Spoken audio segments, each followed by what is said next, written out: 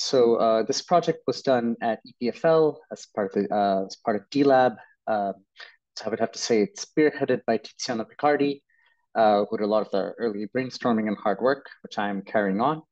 Uh, and I'd like to also thank Martin Gerlach and Robert West for helping with this project. So for some context, uh, what, why is this important? Why is it important to know what fraction of searches are answered by Wikipedia? Uh, this question has been important, uh, I would say, for as long as Google and Wikipedia have been around.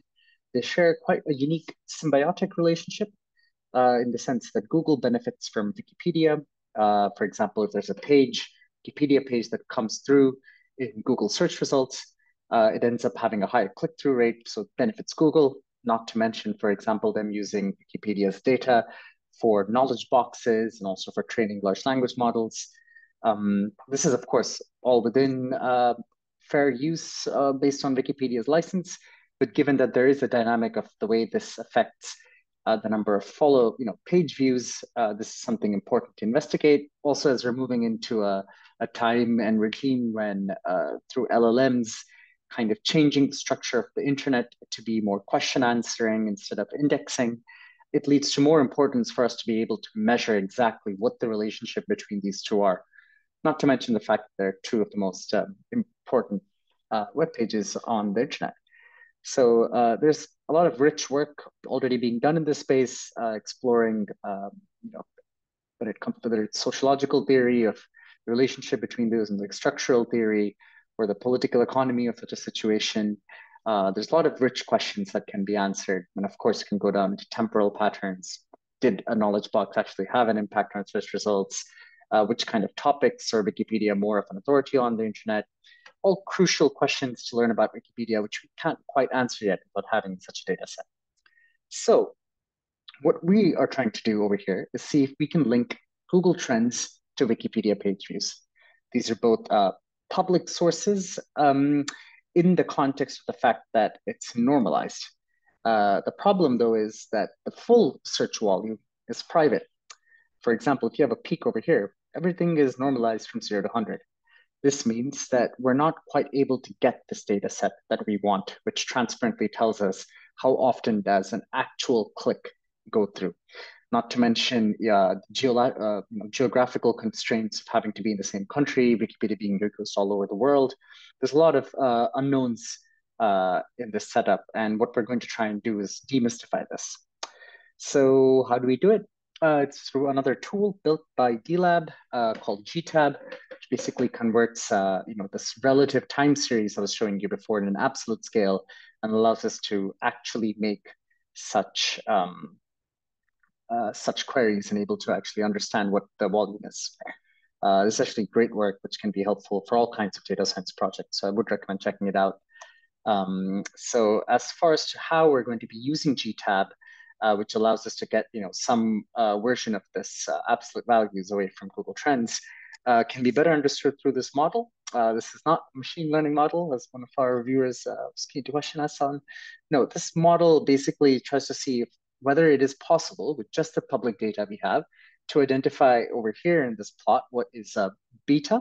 So we can see over here, quickly walk you through it. Um, Q is basically the total search uh, search for, for a topic I at a time t. Alpha is the is Google's market share. The rest is O is the other uh, search engines.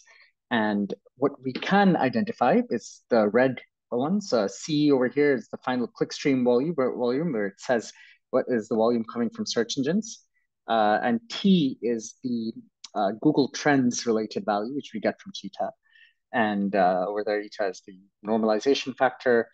Um, and gamma is uh, so beta is the search results that actually come through from Google. Uh, gamma is the other ones, and delta is going going from because we also don't we don't have web request logs logs we just have clickstream values that say from comes from a search engine. So um, that values finally to estimate what values come uh, what values that clickstream tell us are actually represented from Wikipedia.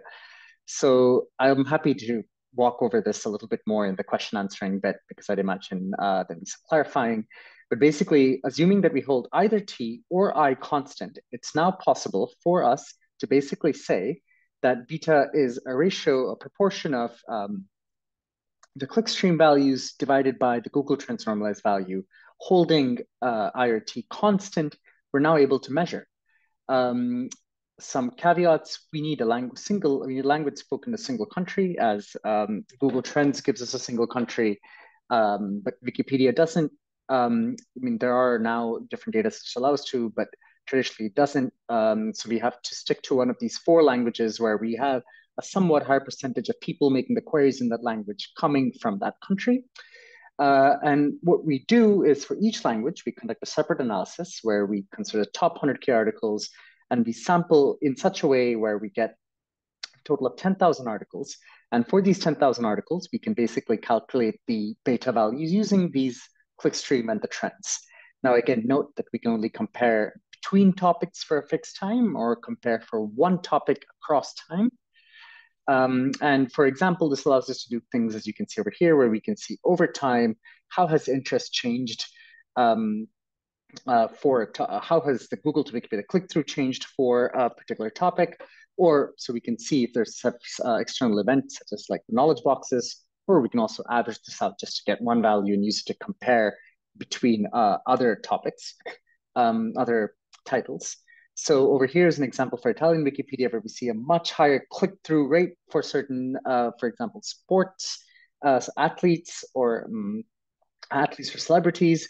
Uh, for medical, we see a higher range. And then for websites like Instagram, Twitter, Reddit, people tend to actually click to go to the website itself rather than go to the Wikipedia page. And over here, you see how for different topics, this value of Google to Wikipedia, this ratio is also quite different.